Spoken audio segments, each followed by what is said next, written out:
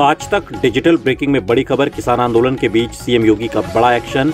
UP में छह महीने तक हड़ताल पर पाबंदी रहेगी। आदेश के खिलाफ जाने वालों पर सख्त कार्रवाई की जाएगी। 2023 में भी लगाया गया था हड़ताल पर प्रतिबंध। योगी सरकार ने छह महीने के लिए हड़ताल पर प्रतिबंध लगाया था।